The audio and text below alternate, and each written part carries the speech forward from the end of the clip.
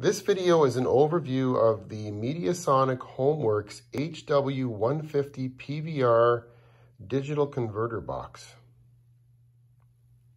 And right off the hop, uh, interestingly enough, even though this is called the HW150 PVR, there is no actual hard drive in here, so the PVR name is really a misnomer. But it's still a good unit. Let me show you a little bit about it.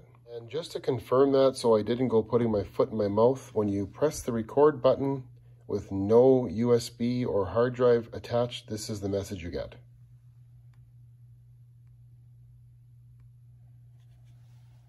And I'm doing a quick side-by-side -side comparison with another digital converter box, the HW130 STB, also made by Mediasonic Homeworx.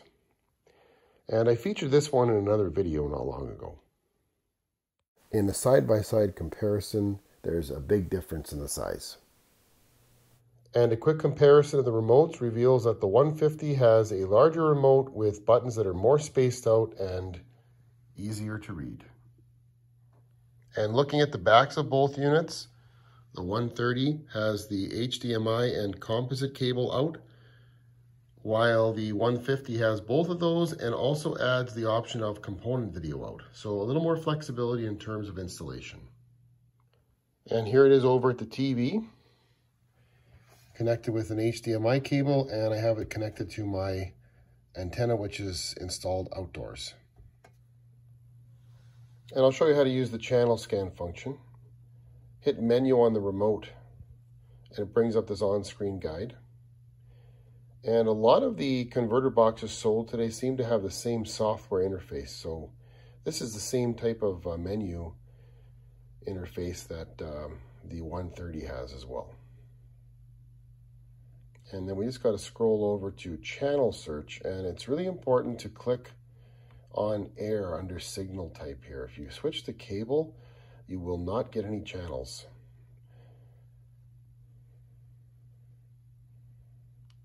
So we leave it on air and we go back up to auto search and it'll run a channel scan. And I should warn you that I only get three channels over the air.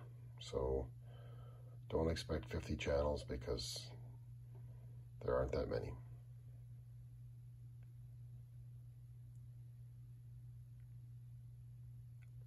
You can see though, as it runs a scan, it tells you which frequency that it is scanning and each frequency correlates to a specific RF channel.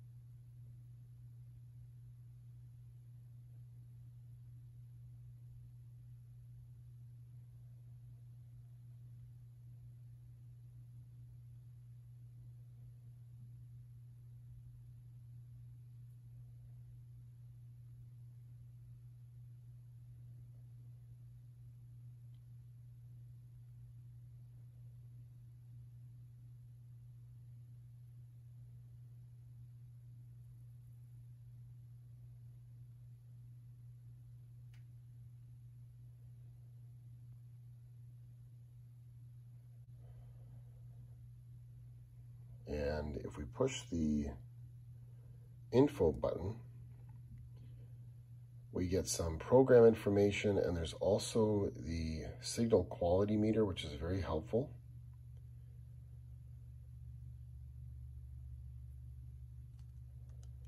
And back out of here and hit the electronic program guide, EPG button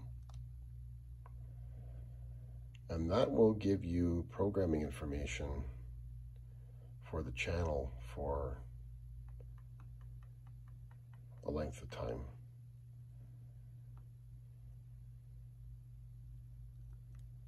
And we'll try this on another channel.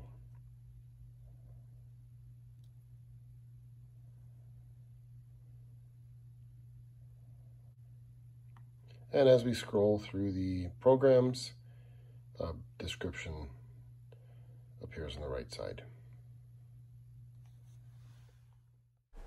Pressing the HDMI button repeatedly allows you to select the video resolution that is best for your situation. And to use the PVR function, you just have to plug in a USB drive in the front slot, or you can connect an external hard drive. And to record, we just press the record button and the message appears. And in the top left corner, the counter starts with a yellow flashing light telling you that you are recording. And we can just hit the stop button when we're finished and you get a message asking you if you want to stop. Hit OK for yes. And finding your recordings, again, press the menu key. And on the top right corner of the screen, you see the USB drive. That's where the recordings are stored. Hit the OK button and click Multimedia. And you're going to go to the PVR. It's already highlighted, so I'll click OK. And then the folder they're stored in is right here, HB PVR. We'll select that, hit OK. And the recording we just did is right here. Hit OK.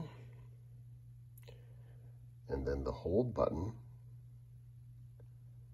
to full screen and we can watch our program. And then when you're finished, hit the stop button and you can use exit to back out of the menu and return to your TV. And to record TV using the timer, press the timer key and it brings you into a new menu and then hit the number one to add and make sure you have the right channel selected and then go down to the time and use the number keys to dial in the time you want.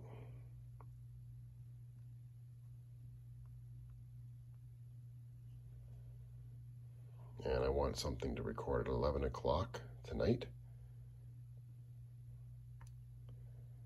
And end at 11.30.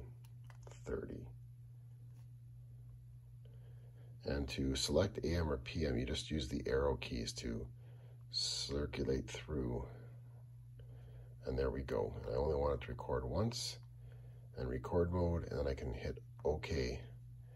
And you can see now I've got the timer set to record something at the time I want.